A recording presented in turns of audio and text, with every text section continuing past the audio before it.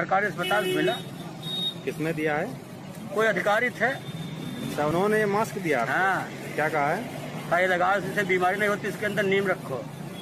अच्छा इसके अंदर नीम रखो। नीम पत्ती कहाँ के रहने वाले हैं? मोहम्मदी बगरेठी। बगरेठी के।